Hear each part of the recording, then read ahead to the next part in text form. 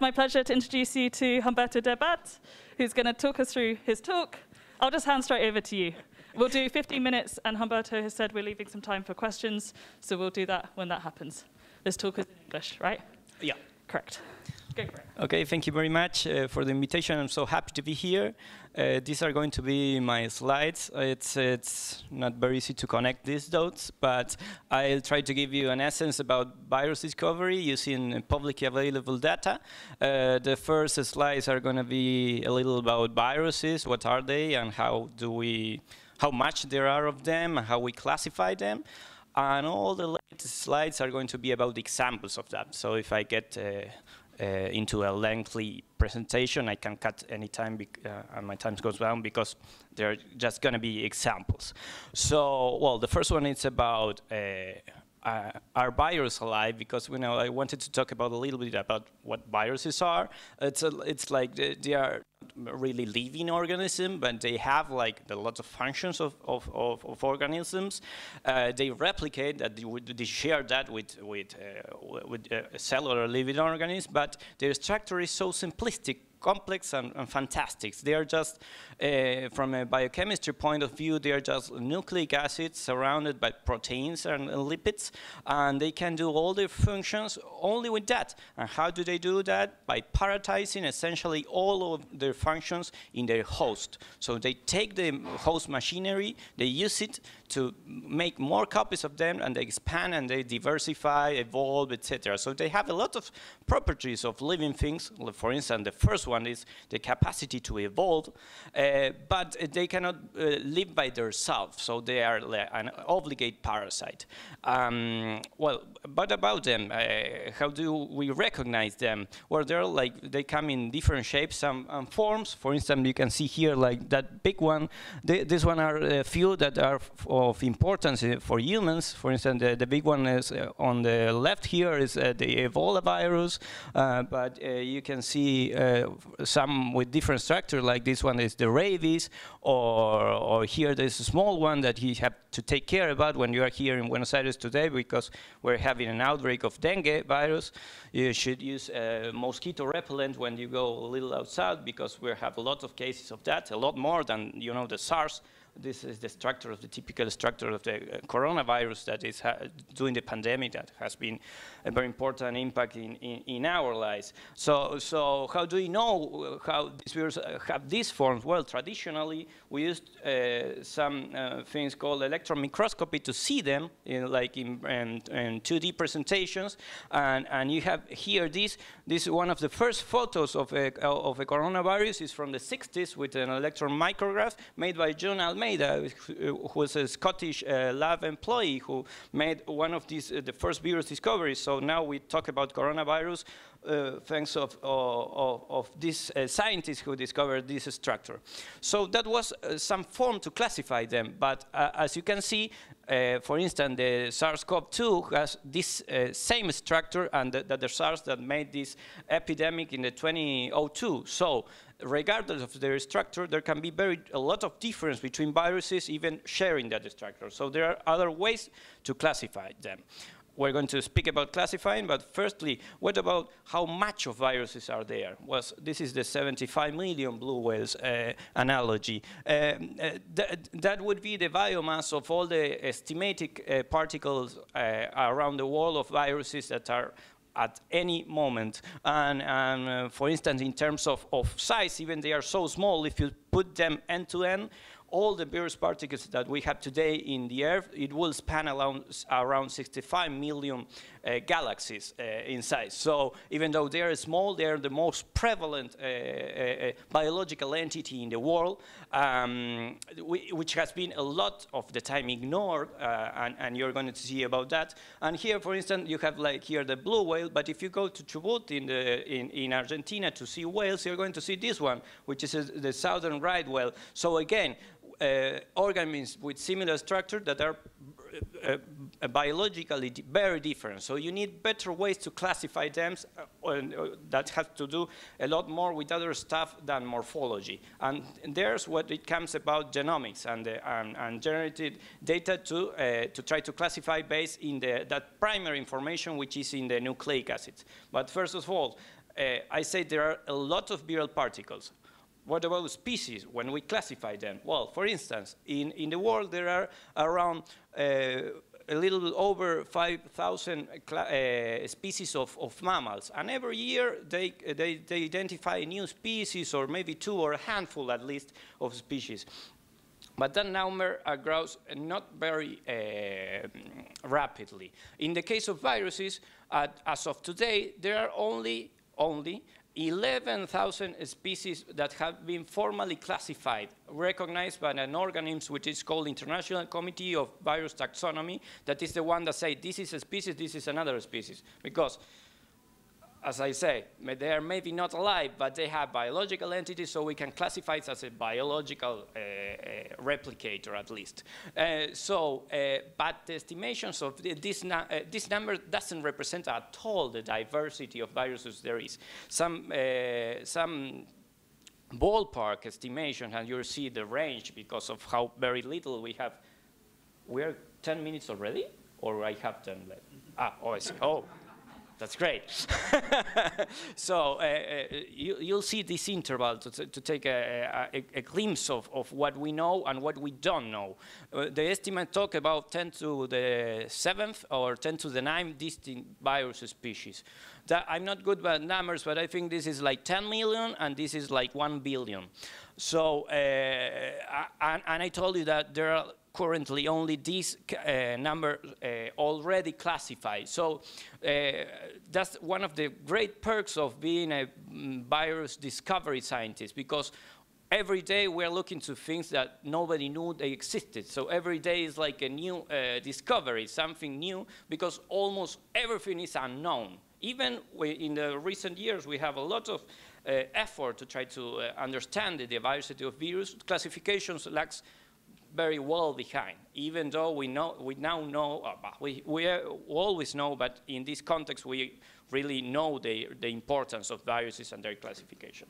So now we're going to start about uh, like a personal view of virus discovery. So here, for instance, uh, you, uh, you, you, you are going to learn about uh, the mate in, Ar in, Argentina. It's a, it's, a, it's a most iconic drink. It's, uh, from a plant which is native from northeast Argentina and the south of Brazil and Paraguay. Uh, it, it is cultivated there in, the, in, this, its place of emergency, Argentina uh, generates 90% of its productions, almost 95% of Argentinians drink mate every day. So it's like we drink coffee, but mate is even uh, like more prevalent uh, here.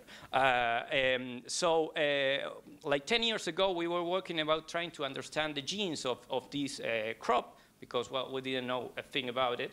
Uh, so we generally like a catalog of, of, of all the genes of, of, these plants.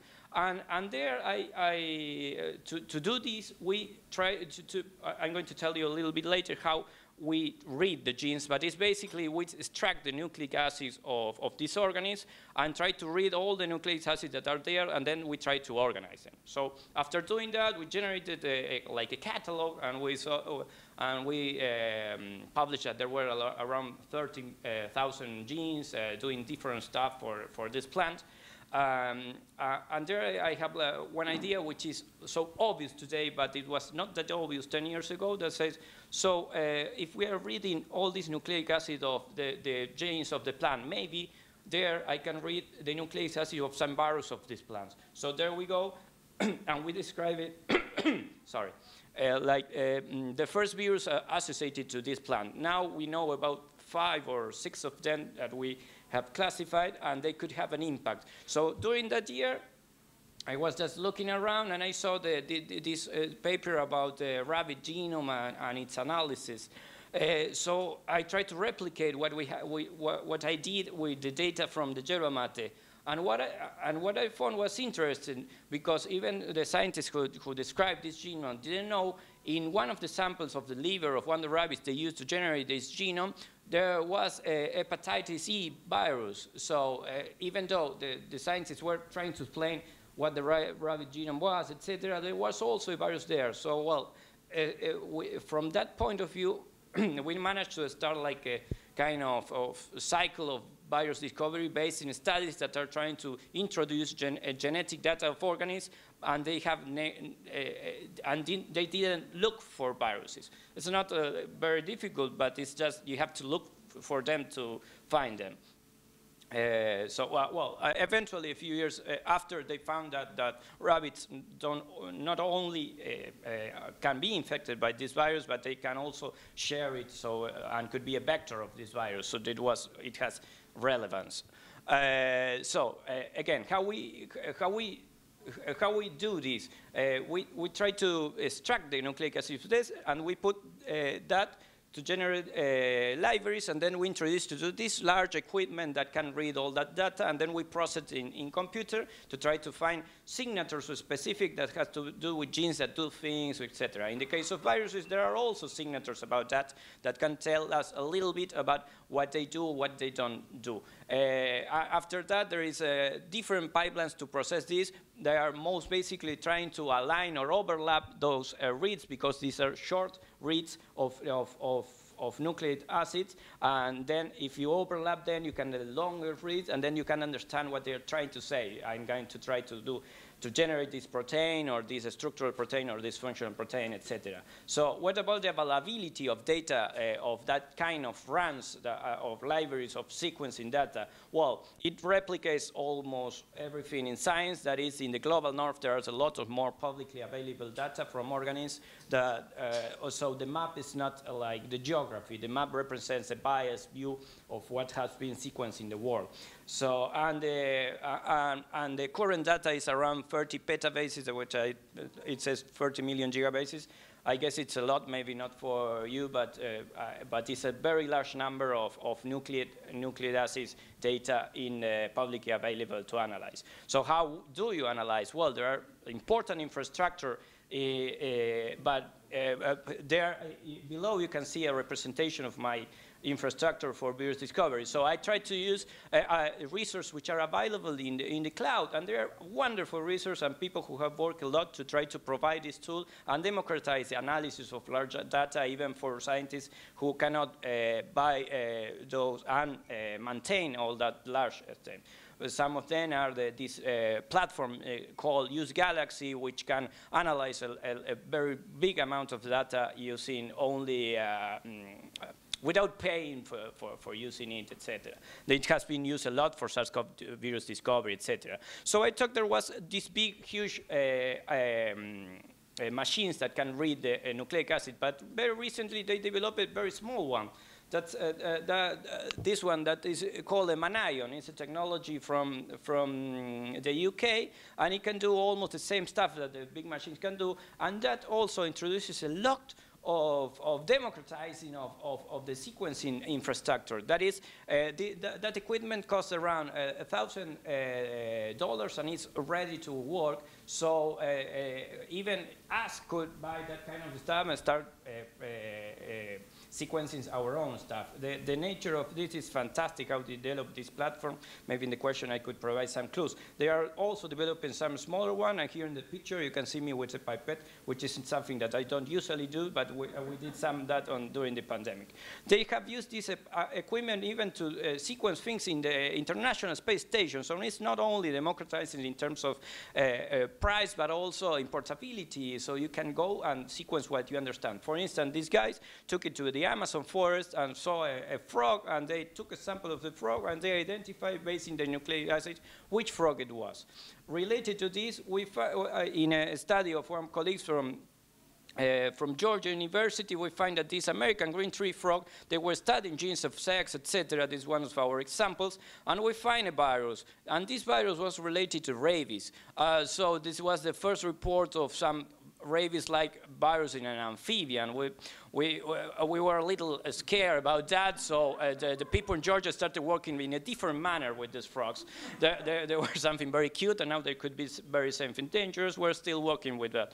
Eventually, uh, we, we did something very similar with hepatitis in a frog from the Tibet, which we published a few years ago, and, and now then that we're going to get to the, some other examples. For, for instance, you know, you really know measles is one of the most contagious viruses there is.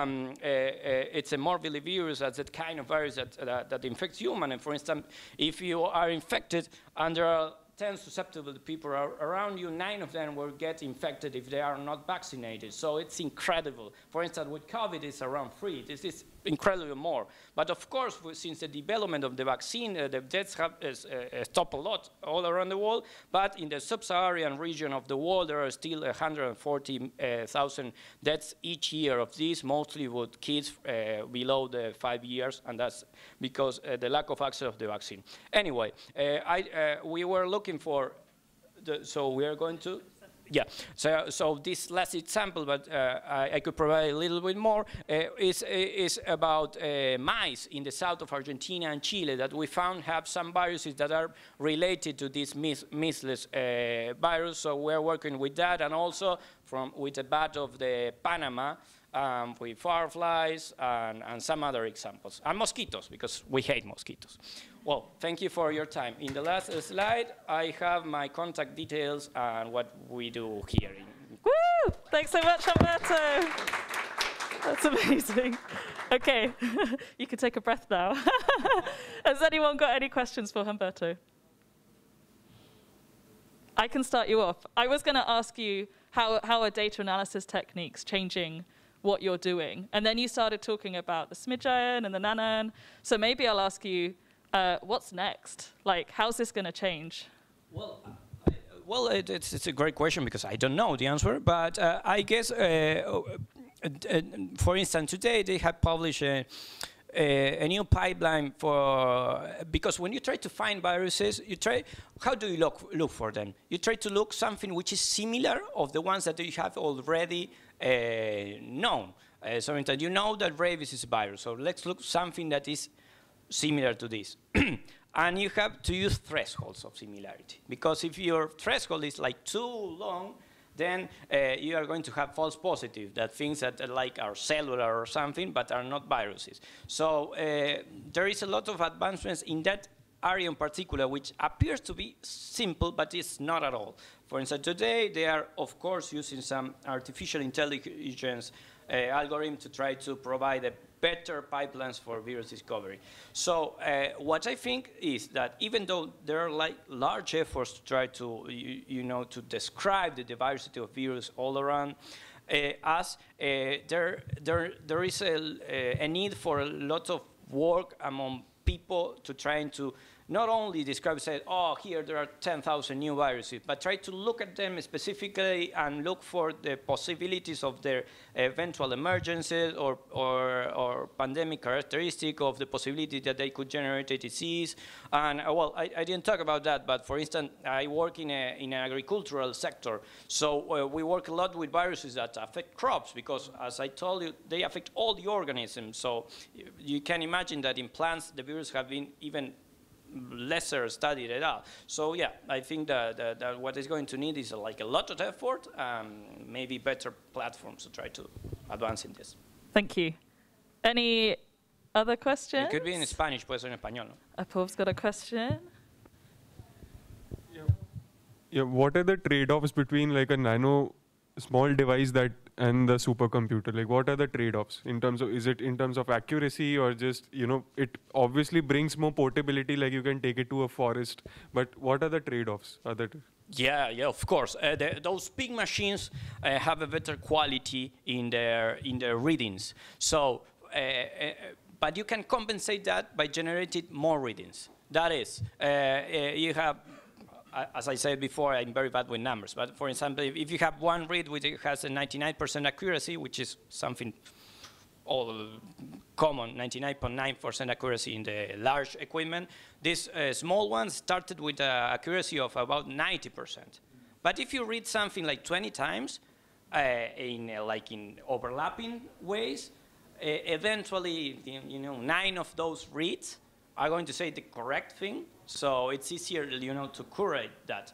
So the, the yeah, you have to generate more data, which is uh, more expensive sometimes, but they are working in the, in the chemistry and they are reaching better quality. So all the infrastructure in sequencing is moving more to this portable stuff.